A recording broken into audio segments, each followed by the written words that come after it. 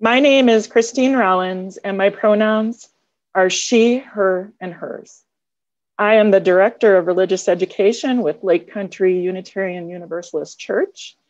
And today I'm thrilled to welcome United Unitarian Universalist Congregation members and friends to our very first online joint worship service.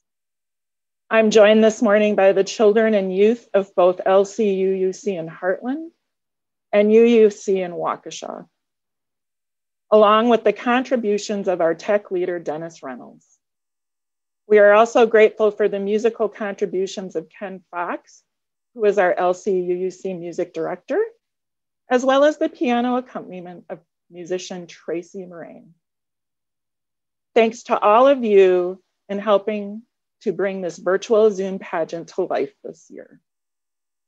We are also fortunate to have the support of both Reverend Karin Bringelson of LCUUC and Reverend David Kramer of UUUC Waukesha, as they were both so enthusiastic about the joint worship today and celebrating the children and youth of both our congregations. Whether you are with us for the day or here for a lifetime, we are glad that you have chosen to join us for worship, community, and a very special morning. LCUUC and UUUC are both active and vibrant faith communities that offer many ways to get involved. Please check the church communication emails, website, or social media of both these churches to learn more about the many opportunities available this holiday season. As UUA affirmed welcoming congregations these events are open to all people, regardless of who they love or what pronouns they use. Please join in our virtual coffee hour after service today. And this will be particularly exciting as we have a chance to also experience our first ever joint virtual coffee hour. As viewers from both congregations will be able to socialize and share in getting to know each other this morning. We utilize Zoom breakout rooms to communicate. After the service ends, simply log on to the Zoom meeting invite that was emailed out by both church administration offices this past Friday. In a moment, we will light we will be lighting our chalice and I hope you will find something to light where you are. Whether it is a candle or an app on your phone, let us now move into a time of worship.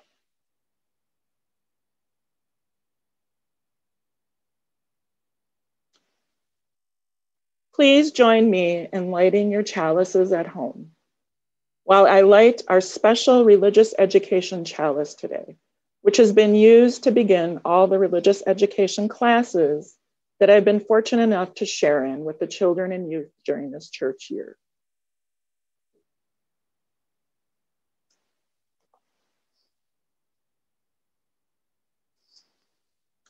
Our chalice lighting words this morning are titled May You Always, and they are by Catherine Pulsifer. Faith, hope, and charity. May we always have these, not just at Christmas time, but all the year throughout. We tend to have more faith, more hope, and charity during the season. But can we keep it always? May you always have something to hope for faith in something bigger than you and dreams that come true. And may you always share with others your blessings as a result of your faith, hope, and dreams. Before we begin our pageant, I'd like to remind everyone that our holiday pageant service will consist of a slightly different format than either of our UU churches are used to on Sunday mornings. We will not be sharing an LCUUC joys and concerns or UUUC's joys and sorrows publicly today, but rather, I ask that as you enjoy today's pageant presented by our children and youth, you hold both of our communities and even greater mankind in your hearts. Joys and sorrows, healing and peace all come from within. Carry the flame of compassion with you and light the way for others. Lead by example, for the children are always watching and listening. And now I invite you to sit back and enjoy. Good morning, friends and family, and welcome to the greatest digital Christmas pageant ever, hosted by the children and youth of both LCUUC and UUUC. We are delighted you have chosen to spend your Sunday morning online with our church families. Before we get started, let me encourage everyone to mute themselves to ensure that our children and youth are able to be heard when it comes to speaking parts. This is an important story you're going to hear today, and we don't want you to miss it.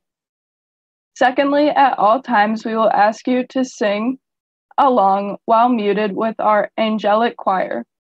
Now, we all know this is not the same as our church choir singing together in person, but let's do our digital best to lift our voices and make a joyful noise this morning for the world to hear. Lastly, thank you. Thank you for your willingness to be creative, flexible, and supportive of our children and youth during these interesting during this interesting season in our life of our world and churches. May our efforts to celebrate the Prince of Peace, even as we socially distance, usher in a time of renewal and hope for the coming year. Before we begin, let us give thanks to the technology we are using today so that we can gather as one collective UU community to celebrate the Christmas holiday season this morning. As we participate from the comforts of our own homes, we remember those without homes and those who are not able to physically distance during this uncertain time. We ask that they can find comfort and shelter. Remind them also of our love and that we care for all humankind as Unitarian Universalists. We hope you can find a special place in your heart and a peaceful reminder of our interconnectedness as we hear from our children and youth today. May this new way of worship be filled with grace and patience as we all learn together that we are a community no matter the medium. It is with the grace that we love that we worship today. May it be so. Okay, friends, I just received word that the donkeys have been fed and the lambs have finished nursing.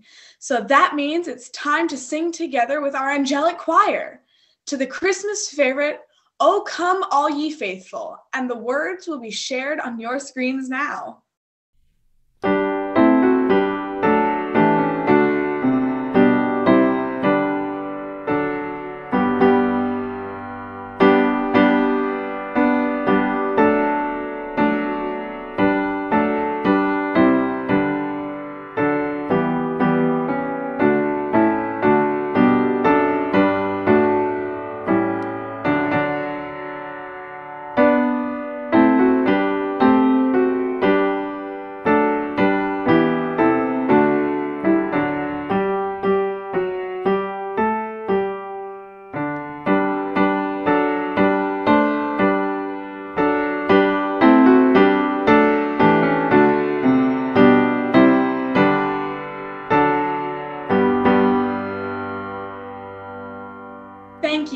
Choir. What a beautiful noise. The faithful have gathered indeed. The story begins with the nativity story as told in the gospel writings of Luke and Matthew. Let us listen together as we hear from those who were there. In those days, a decree went out from Emperor Augustus that all the world should be registered. This was the first registration and was taken while Quirinius was the governor of Syria. All went to their own towns to be registered. I, Joseph, went from the town of Nazareth to Gal- in Galilee to Judea to the city of David called Bethlehem, because I was descended from the house and family of David. I went to be registered with Mary, to whom I was engaged and who was expecting a child. It's time to sing together the Christmas favorite, O Little Town of Bethlehem.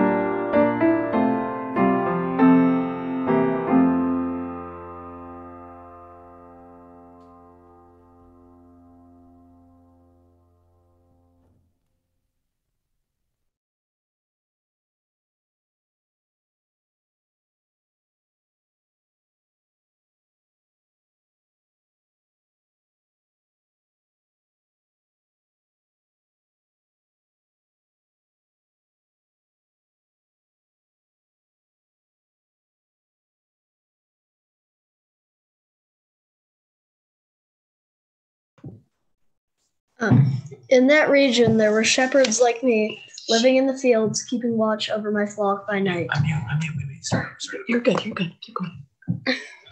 Then an angel of the Lord stood before us, and the glory of the Lord shone around us, and we were terrified.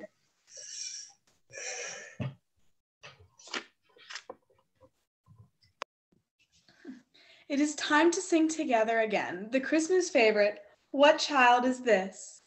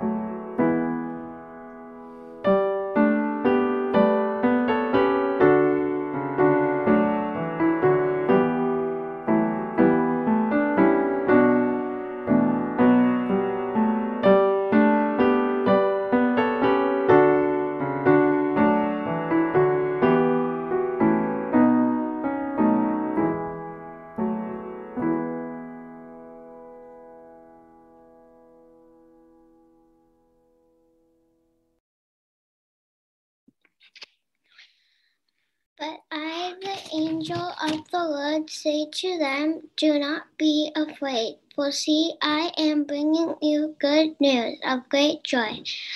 For all the people, to you is born this day in the city of David a Savior who is the Lord. This will be a sign for you. You will find a child wrapped in bands of cloth and lying in a manger. And suddenly there was with the angel a multitude of the heavenly host, praising God and saying, Glory to God in the highest heaven, and on earth peace among those whom he favors. Please join me in singing the Christmas favorite, Go Tell It on the Mountain.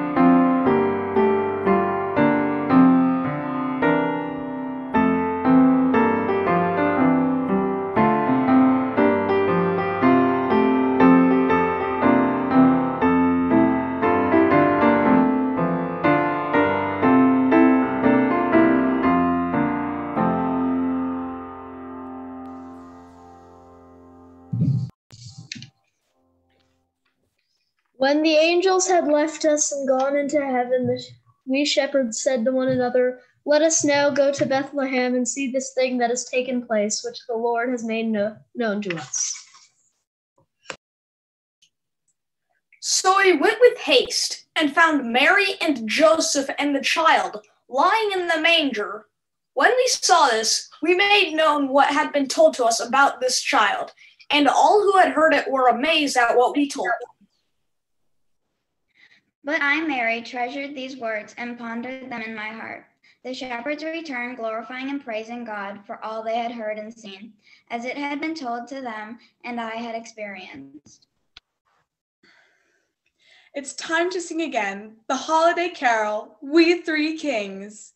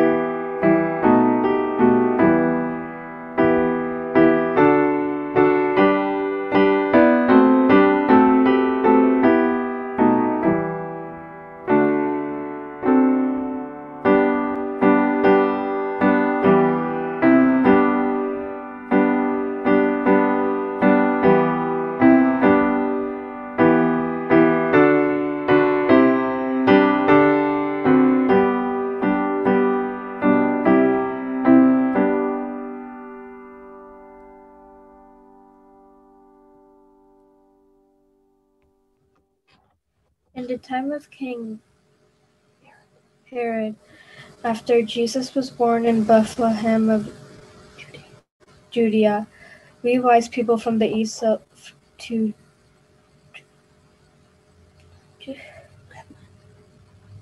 to Jerusalem.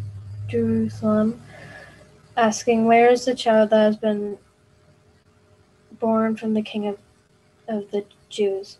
For we have observed this his star at its rising, and and have come to pay him homage. We set out, and there ahead of us. Went to the star we had seen at its its rising until it stopped over the place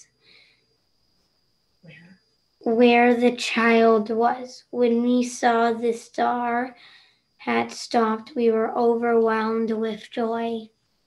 Hmm. On entering the house, we saw the child with Mary, his mother, and we knelt down and paid him homage. Then, opening our treasure chests, we, ho- we offered him gifts of gold, frankincense, and myrrh. It is time to really lift our voices and sing our final song together. The Christmas favorite, Joy to the World.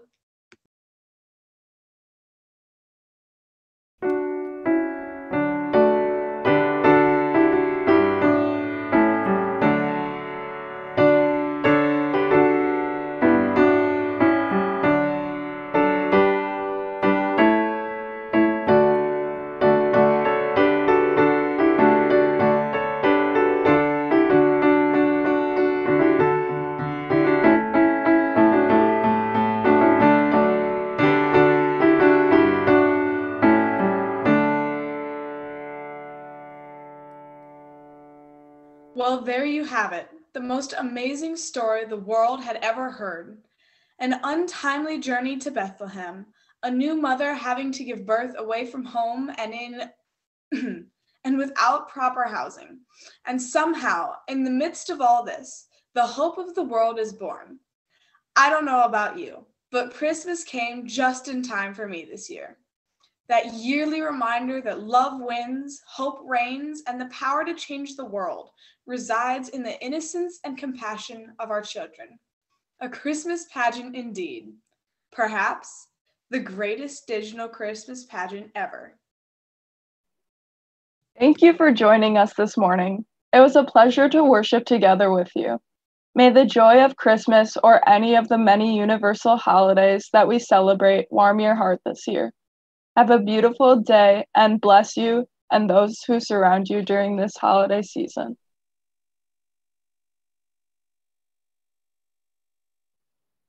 Today, I invite you to share. Share in an offering of either monetary value or human connectivity to an organization or cause that speaks to you. Of course, both LCUUC and UUUC are always thankful for the generous gifts received from our members and our guests. But I also invite you today to find a cause that will nourish your soul. Every December, I like to share in a lesson with the children and youth about sharing and caring during the holidays. And I encourage you and your family to find a way to embrace compassion for those in need this holiday season. We would be one as now we join in singing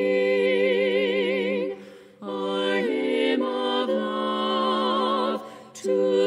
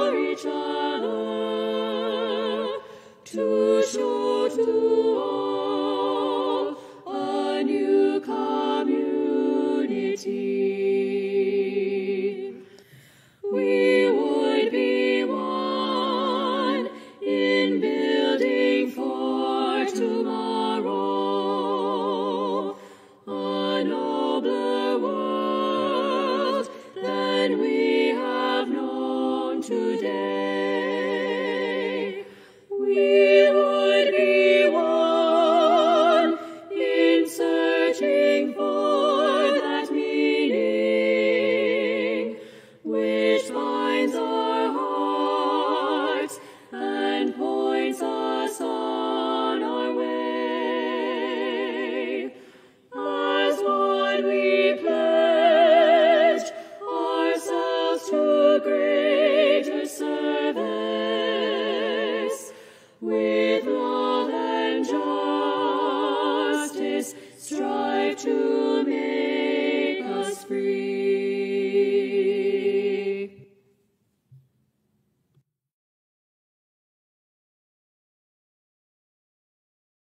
relinquish our chalice today, I'd like to share with all of you, young and old, a reading that speaks of Christmas in particular. However, I would encourage those of any faith or spiritual belief to find the meaning in these simple but yet sometimes challenging actions. As we get ready to say farewell to possibly the most difficult year many of us have experienced in our lives, I invite you to share your gifts of one or more of these simple gestures. The reading is called This Christmas, and it is a modified version from original words by Howard W. Hunter. This Christmas, mend a quarrel. Seek out a forgotten friend. Dismiss suspicion and replace it with trust. Write a love letter. Share some treasure. Give, a soft, give a soft answer. Encourage youth.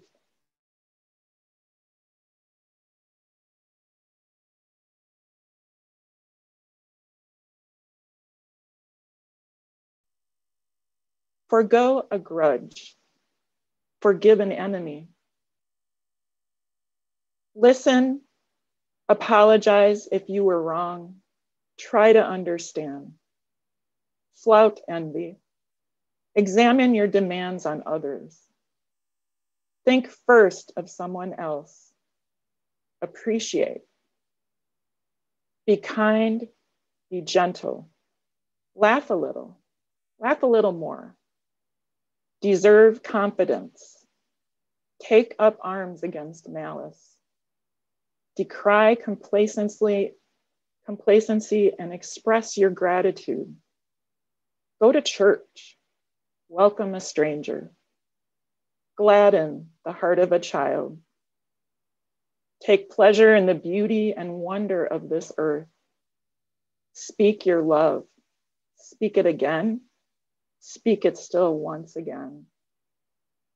Christmas is celebration, and there is no celebration that compares with the realization of its true meaning with the sudden stirring of the heart that has extended itself to the core of life, then, only then, is it possible to grasp the significance of the first Christmas, to savor in the inward ear the wild, sweet music of the angel choir, to envision the star struck sky, and glimpse behind the eyelids the ray of light that fell athwart a darkened path and changed the world.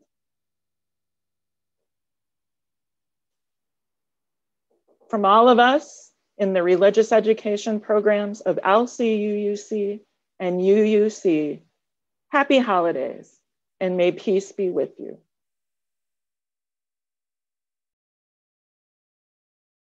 Today, so I'm going to invite everyone to sign on to the Zoom link that was sent out by your administrators this past Friday. And we are ready to host a virtual coffee hour. Happy holidays.